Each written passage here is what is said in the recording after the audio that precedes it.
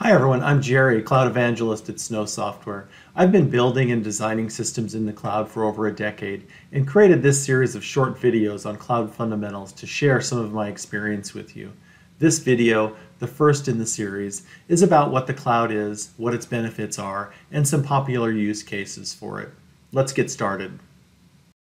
You often hear cloud computing defined as on-demand delivery of IT resources over the internet with pay-as-you-go pricing or something very similar depending on which cloud provider you're listening to. But what does this really mean?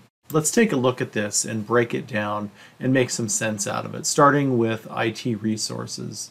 IT resources include servers like virtual machines or instances, um, databases, storage, applications like email, or expense reporting, all the hardware and software that you might need to run your business or your applications in the cloud. Next is on-demand delivery.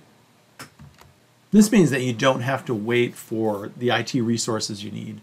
In the cloud, you can have new servers and databases in a matter of minutes, sometimes even seconds, instead of having to wait days, weeks, or sometimes even months over the internet means you don't have to leave your desk or your home office to get those IT resources. You can get them wherever you are, whenever you need them. Finally, with pay-as-you-go pricing, you only pay for those IT resources when you're using them. When you're done using them, you don't pay for them. It's really that simple. So how does all of this benefit you? Well, First, in the cloud, you no longer have to pay upfront for software and hardware. Instead, you pay for servers and databases and other IT resources when you need them and only while you're using them.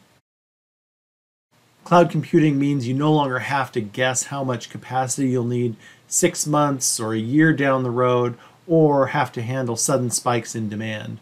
In the cloud, you can efficiently use as much or as little capacity as you need when you need it. Cloud computing means new IT resources are really only just a couple of clicks away.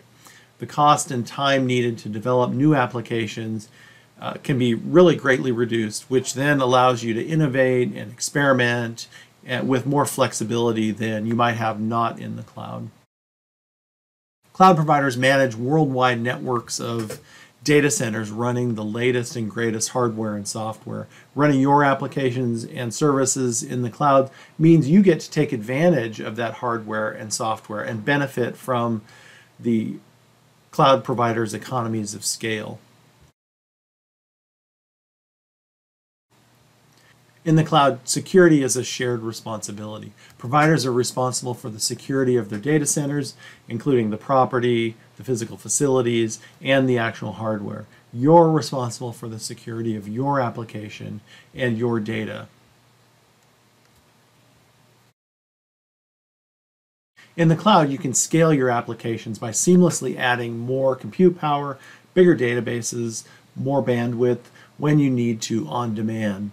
And if you want to run your application closer to your customers who are on the other side of the world, it's usually just a few clicks away. You can go global in a matter of just a couple of minutes.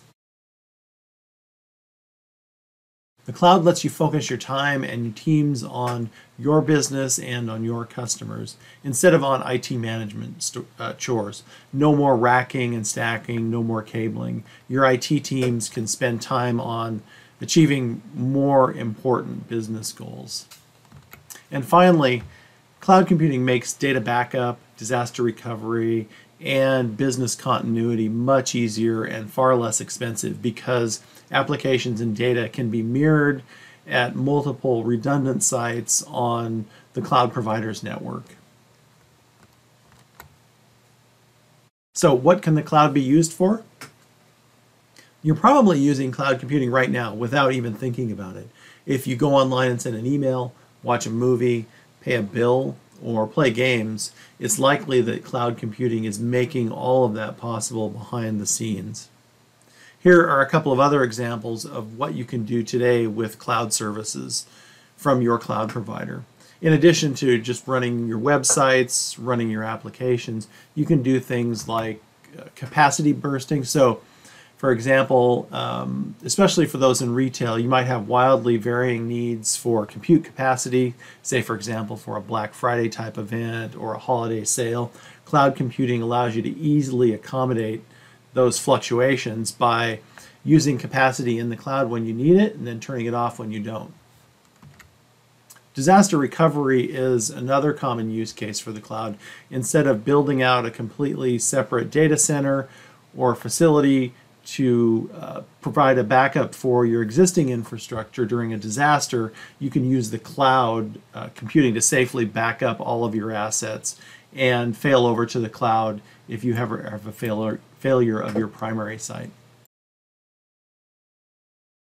Data storage is greatly benefited because cloud computing uh, provides the ability to store large volumes of data, which makes it much easier and much more accessible uh, makes backups much easier, and you can protect your data more cost efficiently by transferring data to the internet um, for an offsite cloud storage system that's then accessible to any location or from any location on any device. Cloud computing allows developers to very quickly access tools and other platforms that they might not have locally for building and testing applications, which speeds up time to market. And this can also help reduce app development costs and time uh, by using the cloud to easily scale up and down. In the cloud, you have almost unlimited resources to process large volumes of data, which in turn speeds research and reduces the amount of time to insights into your market or to your customers. You can then share this data across teams, across departments, and then use cloud services like artificial intelligence and machine learning uh, to uncover more information, which then allows you to make even more data driven, informed decisions. And finally, with the cloud, you can connect to your audience and your customers anywhere, anytime on virtually any device with high definition video and audio with a global distribution. So, just to recap, in this video, I've talked about the fundamentals of cloud computing, um, what cloud computing is, what the benefits of cloud computing are, and how you might use cloud computing to your benefit. I hope you've found this video useful. In other videos in this series, I'll talk more about cloud fundamentals and building blocks like compute and servers and databases and machine learning and storage. I hope you'll join me for those. That's about it. In the next video, I'll talk about another important cloud fundamentals topic, service delivery models. I hope you'll join me for it. If you have any questions or comments, feel free to reach out to me on Twitter where I'm known as AWS Geek. And don't forget to visit snowsoftware.com. Thanks.